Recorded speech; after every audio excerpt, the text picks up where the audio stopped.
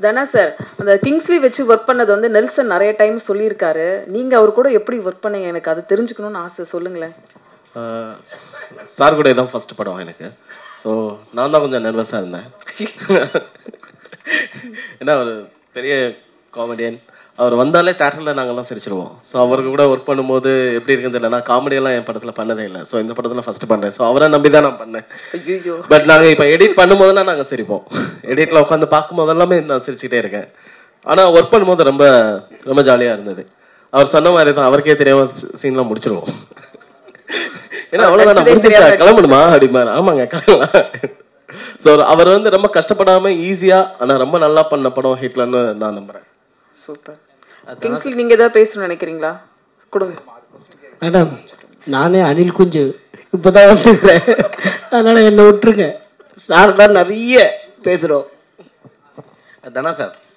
இங்கே இங்கே. Sir Hitler போட்டிருக்கீங்க. அதில் வந்து கன்னும் இருக்குது இன்னொன்று வந்து நம்ம தேர்தல் ஒரு சிம்பிளும் இருக்குது சின்னங்கள் இது. இது எதை பற்றி அரசியல் பற்றியான புரிதல் இருக்குமா இதில்? என்ன சொல்ல வரும்? ஹிட்லர்னா ஒரு சர்வாதிகாரம் தான் எல்லாருக்கும் தெரியும். இடியாமின் இவங்கெல்லாம். ஸோ இது ஹிட்லர் பேர் வச்சுருக்கீங்க சொன்னீங்க. பட் ஆனால் அந்த சிம்பிள் எதை சொல்ல போகுது?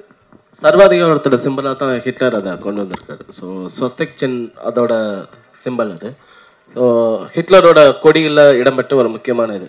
ஸோ ஹிட்லருங்கிற நேம் எப்படி ஒரு இருக்கோ ஸோ அதனால அந்த சிம்பிளை நாங்கள் கொண்டு வரோம். ஒரு சர்வாதிகாரத்தோட அடையாளமாக மட்டும் கொண்டு வரோம்.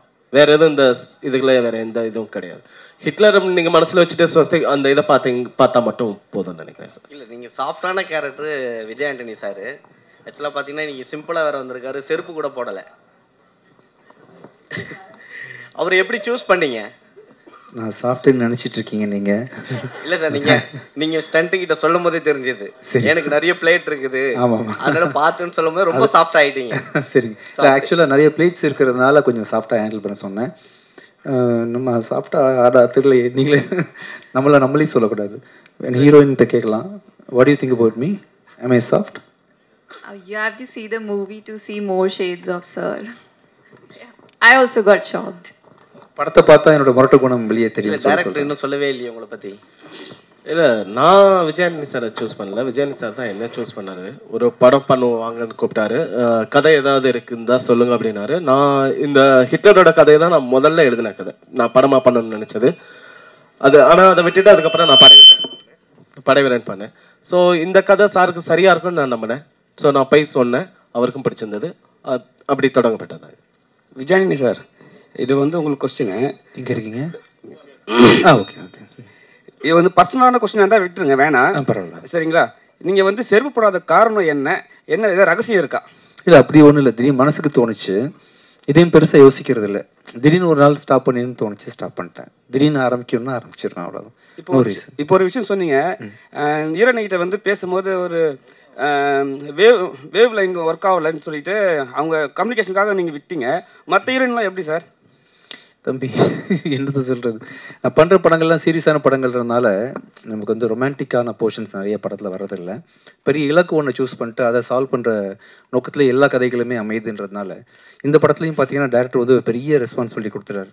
எல்லா படமே கொஞ்சம் ஆக்ஷன் மோட்லேயும் சீரியஸாக ஹீரோ இருக்க வேண்டிய சூழ்நிலை.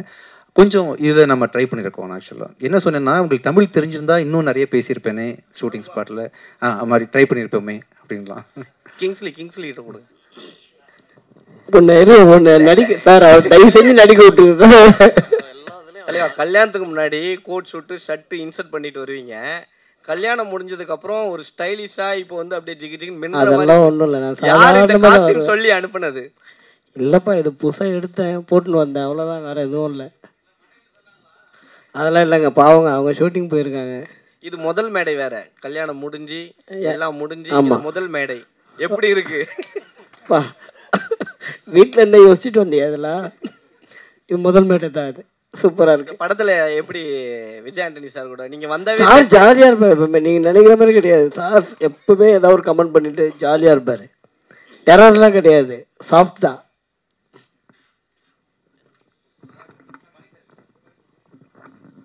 அதாவது ஹிட்லர் வந்து ஒரு பெரிய சர்வாதிகாரிங்கிறது எல்லாருக்குமே ஊருக்கே உலகத்துக்கே தெரியும். அவருடைய ஸ்வஸ்திகா சின்னம் இருக்கு பாருங்க. அதை நீங்கள் குறிப்பிட்டிருக்கீங்க இங்கே. அது ஒரு மத குறியீடு.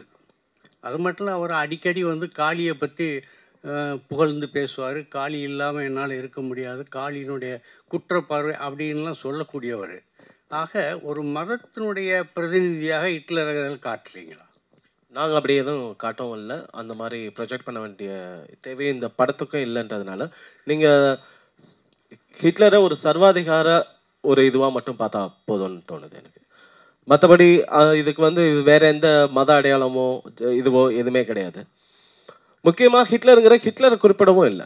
ஹிட்லருங்கிறது நான் முன்னாடியே சொன்ன மாதிரி அது ஒரு படிமம் அவ்வளோதான் இல்லை அந்த படிமத்தை வந்து கதாநாயகனை வந்து உயர்த்தி காட்டுற ஒரு தமிழ் சினிமாவில் நீங்க இது ஹிட்லர் வந்து கதாநாயகன் சொல்லுதுன்னு நீங்க இல்ல, சொல்ல. முடியாது இல்லை இல்லை நான் வந்து இந்த படத்தினுடைய தலைப்பை வச்சு நான் சொல்கிறேன் படத்தோட தலைப்பு வில்லனுக்கு உண்டான தலைப்பாகவும் இருக்கலாம் இல்லையா? ஓ அப்படின்னா கதையினுடைய நாயகன் எதிர்நாயகனா கதையினோட நாயகனை மட்டுமே தலைப்பா வைக்கணும்னு இல்லையா சார்?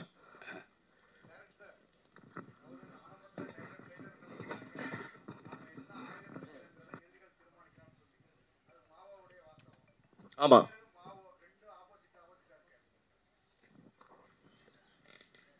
இல்ல எனக்கு அதுதான் புரியல. நீங்க வந்து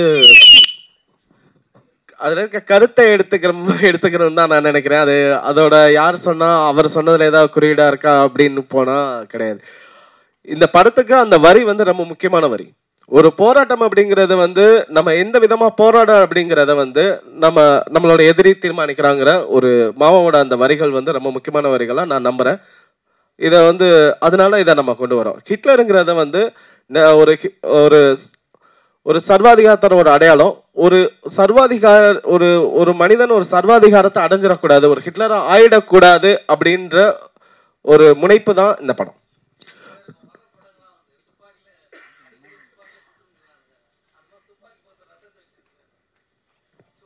துப்பாக்கினால ரத்தம் வந்துடுது சார். ஏன்னா இதில் ரத்தம் இருக்கு இந்த படத்தில் அதனால். டைரக்டர் சார் ஹியர் இங்கே சார் உங்களுடைய ப்ரீவியஸ் படமாகட்டும் இந்த படமாகட்டும் அது எக்ஸப்ஷனலி வெல் மேட் ஃபிலிம் இந்த படத்தில் நீங்கள் தான் யூ ரிட்டன் த ஸ்டோரி அப்படின்றதால கேட்குறேன் what was the spark that let you to write the story என்ன is based on real life incident எங்கேயாவது something must have got you to think about this இல்லையா? ரெண்டு விதமாக நம்ம வந்து கதைகள் எழுதுவோம் நான் தோணுது. என்னை பொறுத்த வரைக்கும். ஒன்று நம்ம வந்து சில படங்கள் பார்ப்போம். நம்ம ரொம்ப பிடிச்ச படங்கள் இருக்கும். அந்த பிடிச்ச படங்களை ரெஃபரன்ஸை வச்சுட்டு நம்ம ஒரு கதை யோசிப்போம் ரெண்டாவது நம்ம வாழ்க்கையில் நடந்த சம சம்பவங்கள் ஏதாவது ஒன்று நம்ம பாதித்ததை வச்சு கதை எழுதுவோம். எல்லாருக்குமே இது இது- அந்த முதல் கருங்கிறது இந்த ரெண்டு இடத்துல இருந்து ஒன்று தான் கிடைக்குது நம்புறேன். நான் என்னோட ஒரு ஒரு நாள் பயணத்தில் எனக்கு ஒரு எக்ஸ்பீரியன்ஸ் இருந்தது. அதை பேஸ் பண்ணி யோசிக்கும் போது இப்படி ஒரு கதை வந்தது. இது வந்து ரியல் லைஃப் இன்சிடென்ட்ஸ்லேருந்தே வருதுன்னு சொல்லலாம்.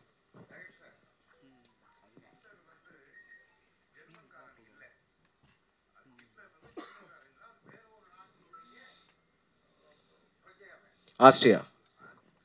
ஆஸ்ட்ரியா.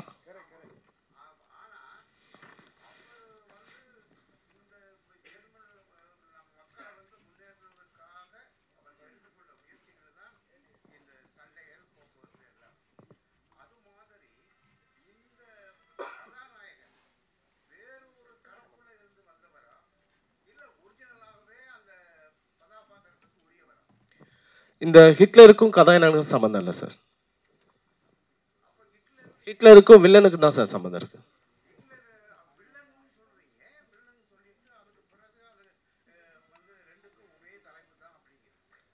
இல்லை எனக்கு கேள்வி புரியல. ரெண்டு தலைப்பும் ஒரே தலைப்புன்னு எனக்கு புரியல. சார் ஒரு படத்தோட தலைப்புங்கிறது பட க- கதாநாயகனை மையப்படுத்தி இருக்கலாம் கதையோட கதையோட கருவை மையப்படுத்தி இருக்கலாம் சரிங்களா?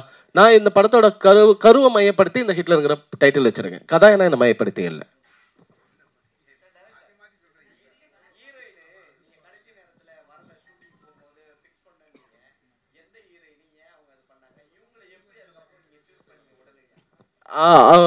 படத்தில் நடிக்காதவங்கள பற்றி நம்ம பேசி அதை ஒரு இது பண்ண வேணாம். அவங்க உண்மையிலேயே இந்த படத்தில் ரொம்ப இன்வால்மெண்ட்டோட ஒரு ஹீரோயின் இதுதாங்க. பட் அவங்க பர்சனல் ரீசனால அவங்களால வர முடியல. அவங்க ஃபேமிலியில் ஒருத்தருக்கு வந்து ரொம்ப சீரியஸாக இருந்ததுனால அவங்க கூட வந்து பார்த்துக்க வேண்டியதாயிடுச்சு அதனால அந்த போனாங்க. ரெண்டு நாளில் எங்களுக்கு வந்து ஒரு ஹீரோயின் கண்டிப்பாக வேணும். அதுவும் என்னோட கேரக்டர் ஏற்ற மாதிரி வேணும். விஜயானி சாருக்கு ஆப்டாவும் கரெக்டாகவும் இருக்கணும். ஸோ அதில் நிறைய ரெண்டு நாளில் உட்காந்து கிட்டத்தட்ட நாற்பத்தி மணி நேரம் தலையை பிச்சுட்டு யார் யார் இருக்காங்கன்னு பார்த்து அப்படி ஒரு இதில் ஒரு ஃபோட்டோஸ் பார்த்தோம். அந்த ஃபோட்டோஸ் பார்க்கும்போது எனக்கு அது வந்து மோஸ்ட்லி என்னோட கேரக்டர் ஆப்டாக இருக்க மாதிரி தெரிஞ்சது. அப்புறம் அவங்க என்ன படங்கள் பண்ணியிருக்காங்கன்னு பார்த்தோம். சீருன்னு ஒரு படம் மன்மதிலையில் இருந்தாங்க. அவங்க ஒரு விதத்தில் ஒரு பூமிங்காவோட ஒரு சாயல் இருந்தது. எனக்கு பூமிங்கா அவங்களோட அவங்கள எனக்கு ரொம்ப பிடிக்கும். ரொம்ப நல்ல ஆக்ட்ரஸ் அவங்க. ஒரு அவங்ககிட்ட ஒரு பாந்தம் இருக்கும். ஸோ அதே மாதிரி என்னோட ஹீரோயினுக்கு வந்து ஒரு ஜாலியான ஒரு பொண்ணு மட்டும் இல்லை அவளுக்குள்ள ஒரு பெயின் இருக்குது அவளுக்கு ஒரு எக்ஸ்பெக்டேஷன் இருக்கு லைஃப்ல ஒவ்வொரு தடவையும் தோத்து தோத்து வந்து நிக்கிற ஒரு பொண்ணு அவ. ஸோ அந்த பெயினை தாங்குற ஒரு முகம் வேணும்னு தோணுச்சு. ஸோ அது ரியாசுமன் அவங்களுக்கு இருக்குன்னு நான் நம்பினேன் ஸோ அப்படி உள்ள வந்தாங்க. Thank you so much yes thank you so much hmm hmm hmm ம் ம் ம்